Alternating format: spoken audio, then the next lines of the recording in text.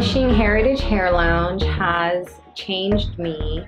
I have gained confidence, independence, and a second family.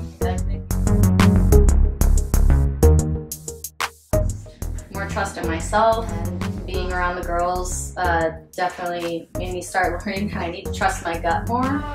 I would say it definitely helped with a confidence booster as well as giving me a second home um, and being able to just be my authentic self and not feeling judged or having to put on a different persona.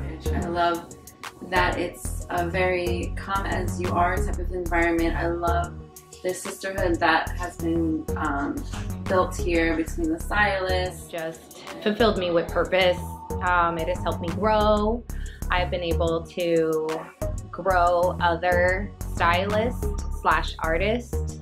Um, it has really just helped me create a place uh, and kind of a home base. It's almost like a home base for like-minded people.